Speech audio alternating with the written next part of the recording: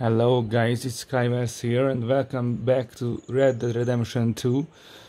In this video I'm going to show you uh, the truly best uh, HDR settings for the game. Um, I recently uh, realized that uh, with HGIG the game uh, looks actually more nat natural and uh, ultimately it is the better option.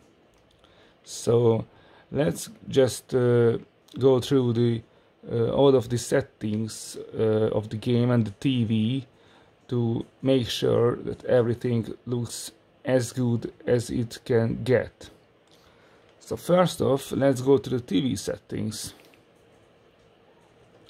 Let's go here and make sure that uh, your TV is uh, the, the HDMI port set to uh, ultra deep color.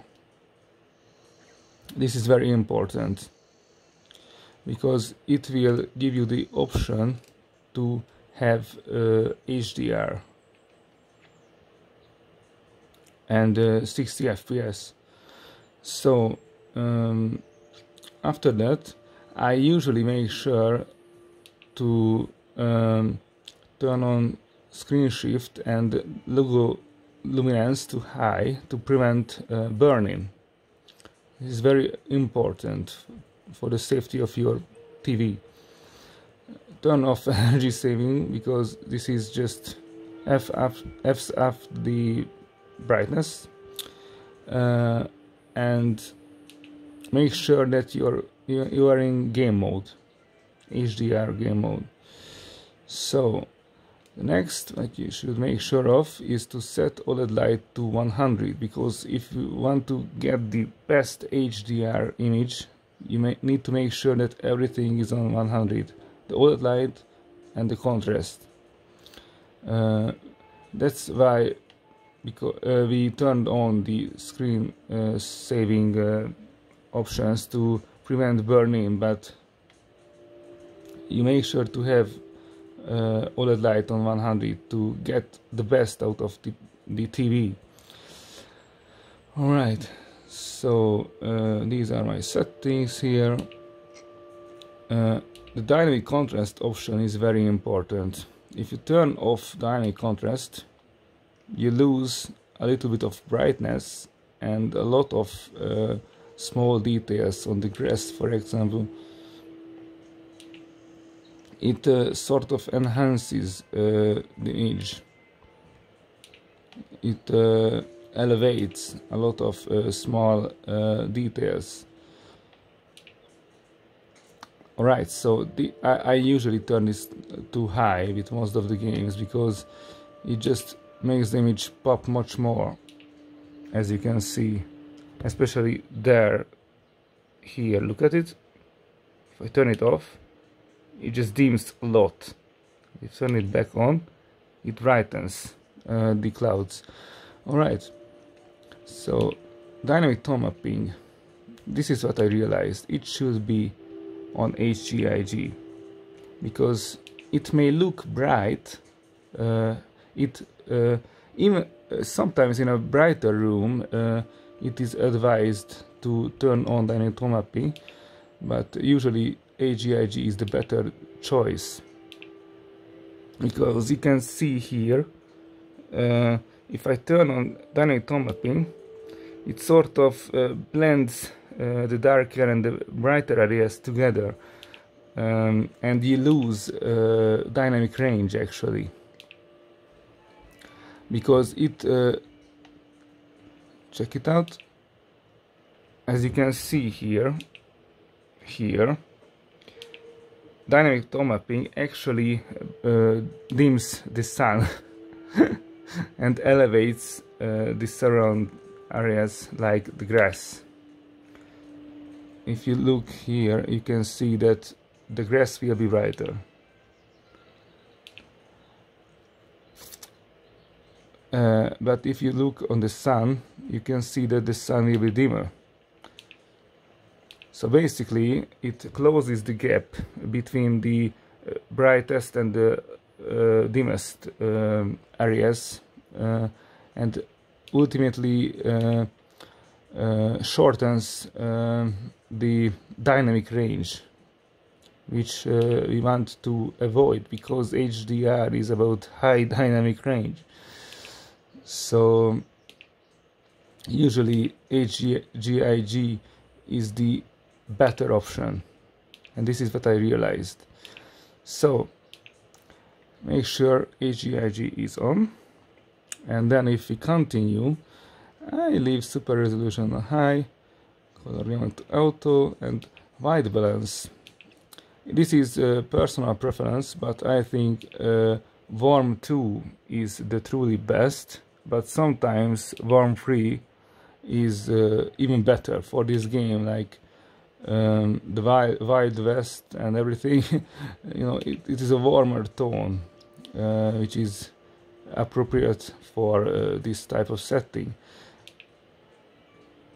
And uh, also uh, OLED has a lot of blue light and warm 3 is uh, fully eliminates it. But it can crush uh, bright details a little bit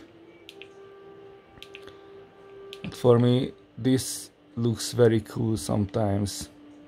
As you can see on medium everything just goes blue and this is this disgusting.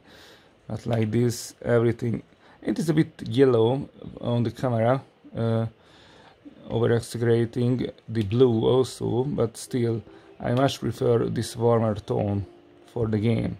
It is not as warm uh, as the camera uh, shows you it is a bit uh, cooler but still very warm. This is why the warm to the sweet spot but warm 3 is uh, usually very good also.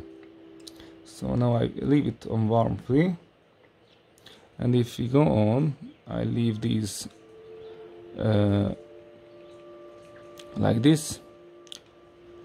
Um, and color management also like this. And let's go back here and go to the picture options.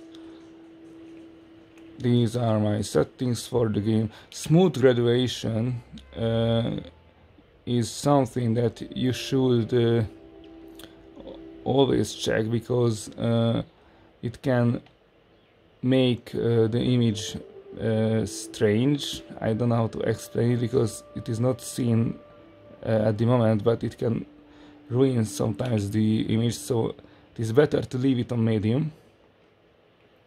Black level is uh, on low.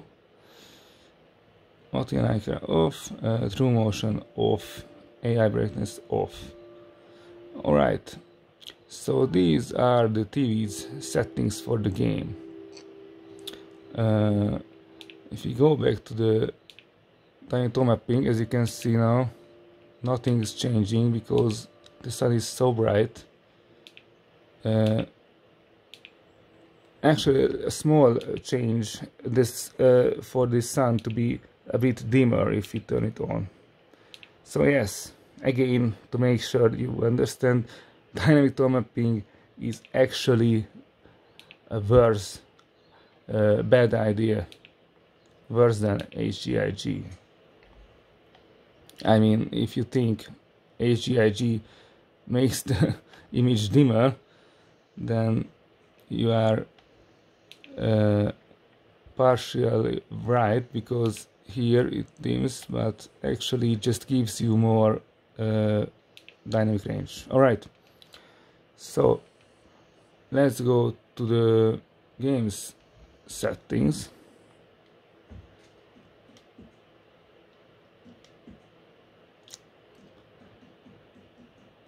Make sure it is in full screen and native resolution. And then here is the HDR settings on and these are my values. And uh, if we turn on dynamic mapping we will see that uh, it can oh I left it on sorry.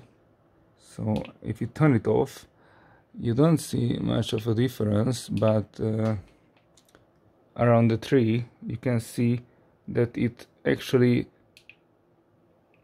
takes away uh, some of the highlight details so it it, it, it uh, masks some of the the tree itself basically. And uh, if you leave dynamic mapping on uh, these values uh, sometimes uh, can how can I say like it doesn't make much sense because dynamic mapping will always adjust uh, the brightness of the of the HDR according to the image. So if you change uh, the peak brightness, uh, nothing will uh, change actually because the TV will adjust uh, according to the the scene differences.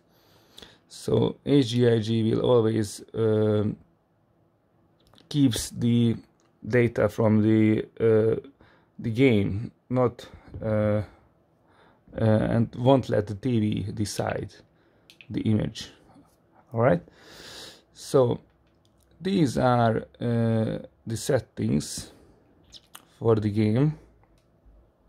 Try them out and uh, tell me in the comment section what you think about it. Consider subscribing and have a beautiful day. Thanks for watching.